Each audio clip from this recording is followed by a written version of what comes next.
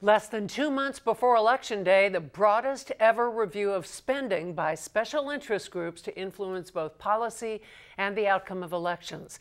The New Jersey Election Law Enforcement Commission, ELEC, found that from 1999 to 2013, the top 25 spent $311 million.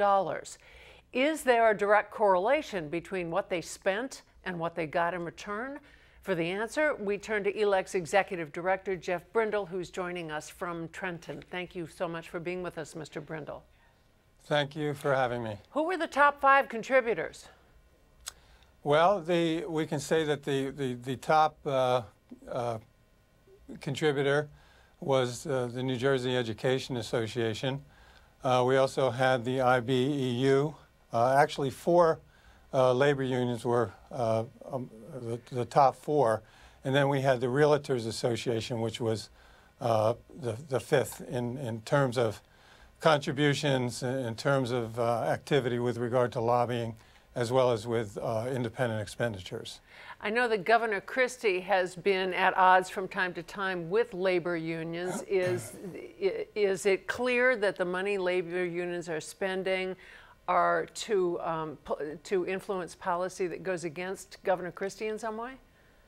Yeah, I mean, there, you know, there have been a number of, uh, you know, pretty significant issues with regard to education over the last, uh, you know, couple of years.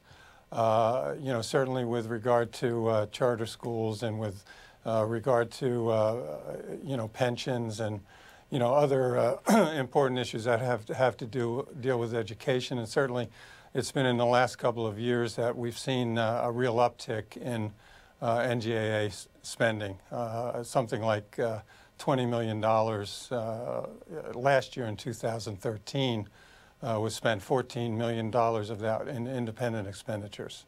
Are the biggest donors liberal or conservative? Does it cut both ways? How does that work? You know, I think it, it, it, that's really hard to say, but I think it, it really cuts both ways. I mean, as, as you could see, uh, labor unions, uh, you know, eight out of the 25 uh, of these groups, uh, top groups, uh, were labor unions. But you also have uh, ide other ideological groups. You have some party affiliated groups that are involved. You have trade trade association groups. So it really runs the gamut. it's really mm -hmm. difficult to say. What do PAC contributions tell us from contributions from political action committees? What did, what did they tell us and why? And is this the whole story? Well, I think, I think the real story about, about PACs is that in the last, uh, just uh, from 2013 over from 2012, there was 148% increase in, uh, in PAC spending.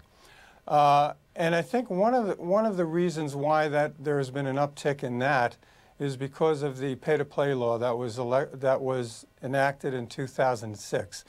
Uh, you know that that was a, a law that uh, you know included political parties in it as well as candidates, and we saw during that period of time uh, less money being raised by political parties and and by candidates. And it was during that period of time that we saw an increase in political action committees again.